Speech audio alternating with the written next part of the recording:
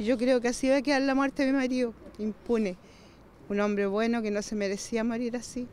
Son el dolor y la rabia de la familia de Oscar Sáez. Y es que a este chofer de 70 años lo mataron para robar 20 mil pesos. Y esa frustración también la expresaron sus colegas. Aquí están todos los colegas unidos, parados. Protestaron exigiendo seguridad, porque Oscar fue asesinado a sangre fría en el asalto a este terminal de buses en Chihuayante. Intentó defender a un colega y le dispararon. Este tipo forcejeó con él en la puerta y logró sacar una mano y, tenía la, pistola en la mano y le otorgó el, disparo que lo recibió al, lado, al costado derecho. Quiso encerrar a los asaltantes en una oficina.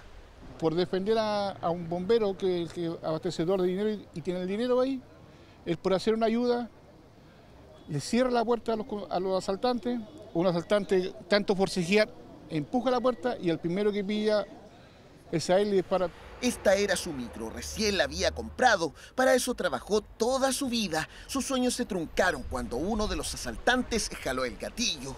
La máquina 19, en la cual con mucho sacrificio, justamente dando unos pies y después terminó de pagar lo demás, hace un par de meses.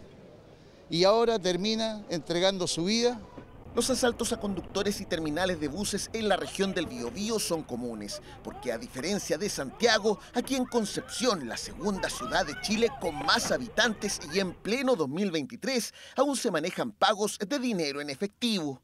Como todos los días hay recaudación, eh, es plata que anda circulando. Sí, nos estamos pidiendo protección en el terminal porque allá estamos en el punto rojo de vía futuro en la orilla del río abajo y, hay cualquier delincuencia. Un asalto eh, que justamente tenía que ver con la recaudación del, día. Y en ese sentido, efectivamente, queremos avanzar con el recaudo electrónico, tal cual en el caso de Santiago tenemos la tarjeta VIP, son proyectos que también tenemos en regiones una solución que para ellos llega demasiado tarde. Por eso la movilización de esta jornada en Chihuayante y Concepción se mantendrá de forma indefinida. Oscar dejó tres hijos y seis nietos tras ser asesinado por sujetos que apenas se llevaron 20 mil pesos y que hasta el cierre de esta nota seguían libres.